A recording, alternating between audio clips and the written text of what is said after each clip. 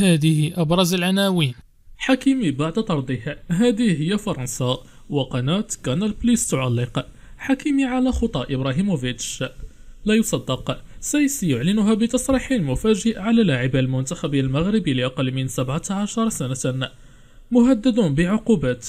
أبو خلال يرفض المشاركة في مباراة تولوز الفرنسي ونانت بسبب المثلية الجنسية. والآن إلى التفاصيل. ولكن من قبل باش تكون أول واحد كيتوصل بجديد الأخبار العالمية والمغربية المرجو وضع زر إعجاب واشتراك وتفعيل الجرس. حكيمي بعد طرده هذه هي فرنسا وقناة كانال بليس تعلق. حكيمي على خطى إبراهيموفيتش. كشفت قناة كانال بليس الفرنسية ما تلفظ به المغربي أشرف حكيمي.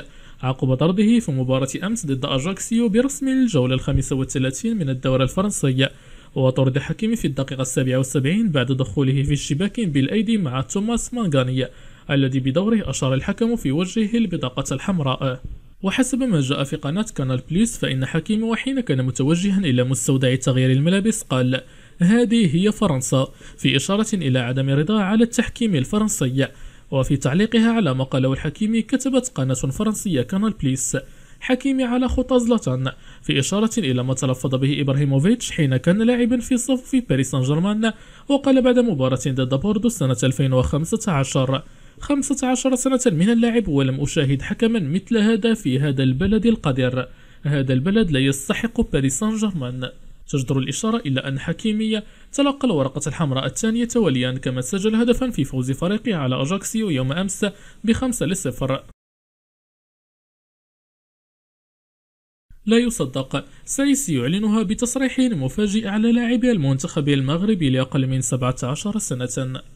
تفاعل رومان سايس عميد المنتخب الوطني المغربي ولاعب بشكتاش التركي لكرة القدم مع إنجاز المنتخب الوطني لأقل من 17 سنة الذي تأهل إلى نهائية كأس العالم المقبلة بعد فوزه على المنتخب الجزائري في ربع نهائي كأس أفريقيا المقام حاليا بالجزائر. وتأهله إلى دور النصف الذي يبيح للمنتخبات الأربعة التأهل للمونديال. ونشر رومان سيس صورة للمنتخب الوطني لأقل من 17 سنة رفقة مدربه سعيد شيبة مهنئا إياه بهذا الإنجاز بالإضافة إلى صورة لجميع المنتخبات الوطنية التي تأهلت للمونديال خلال الآونة الأخيرة سواء في الذكور أو الإناث. وأكد سيس من خلال تعليقه على الصورة أن كرة القدم الوطنية بخير ولا خوف على خلف المنتخب الأول من خلال النتائج التي تحققها بقية الفئات السنية متمنيا أن يسير المنتخب الأولمبي على خطى الجميع ويتأهل للأولمبياد المقبل التي ستجرى في العاصمة الفرنسية باريس. مهدد بعقوبات. أبو خلال يرفض المشاركة في مباراة تولوز ونانت بسبب المثلية الجنسية.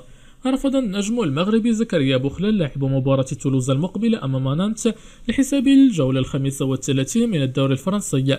ورغم استدعائه من قبل مدربه قرر أبو خلال عدم خوض مواجهة نانت بسبب الدعاية التي تشهدها الجولة للمثلية الجنسية. عبر ارتداء اللاعبين لقمصان تحمل أرقاما وأسماء بألوان قوس قزح التي تمثل الفئة المعنية. وتمسك أبو خلال بموقفه رغم العقوبات التي تهددها وينتظر أن تصدر في حقه لرفض خوض المباراة على غرار مجموعة من اللاعبين الذين كان لهم نفس الموقف. ويبقى أبو خلال من أبرز اللاعبين الملتزمين دينيا مظهرا قيمه وأخلاقه الحسنة المستمدة من الإسلام دون أن يرضخ لأي ضغط أو توجه عكس مبادئه وما يؤمن به. مدرب باريس.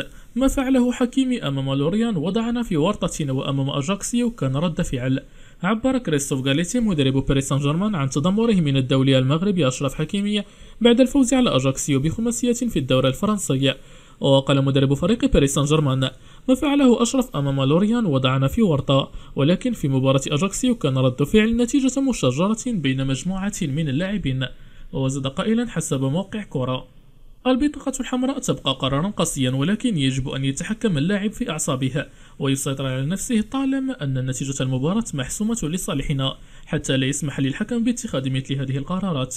وحصل اللاعب حكيمي أمس السبت على بطاقة حمراء خلال مباراة فريقه أمام أجاكسيو وقبل ذلك سجل الدولي المغربي هدفا ما بين أهداف فريقه الخمسة. المدير الرياضي لبايرن ميونخ مزراوي يتمتع بمستوى رائع وسيبقى معنا.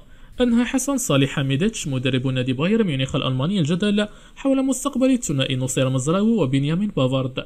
وقال حميدتش في تصريح صحفي وجاء فيه مزراوي سيبقى معنا إنه يتمتع بمستوى رائع. وأضاف حيث قال نود أن نحافظ أيضا على بافارد. نحن حاليا نجري محادثات معه ومع ممثليه وينتهي عقد بافارد في صيف 2024 في حين يرغب مزراوي في الرحيل من أجل الحصول على المزيد من الدقائق. الجيش الملكي يصدر بلاغا استنكاريا على خلفية توالي المجازر التحكيمية. أصدر نادي الجيش الملكي بلاغا استنكاريا مؤكدا توالي المجازر التحكيمية ضدها آخرها خلال مباراة يوم أمس أمام الفتح الرياضي برسم ربع نهائي كأس العرش.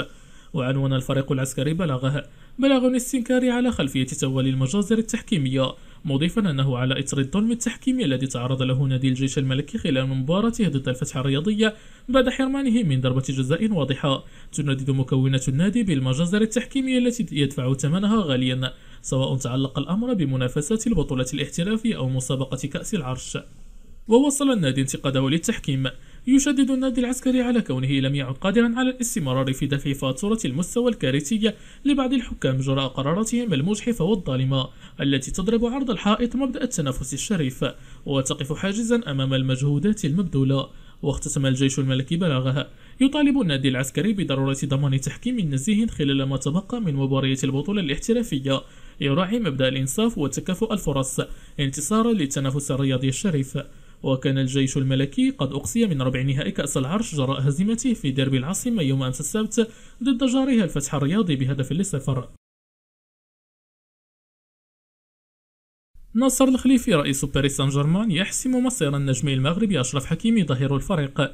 حسم ناصر الخليفي رئيس باريس سان جيرمان مصير النجم المغربي أشرف حكيمي داخل جدران حديقة الأمراء.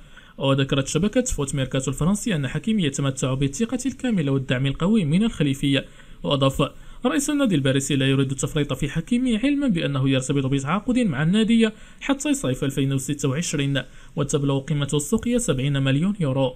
يذكر أن حكيمي انتقل إلى صفوف PSG في صيف 2021 قادما من إنتر ميلان الإيطالية مقابل 60 مليون يورو.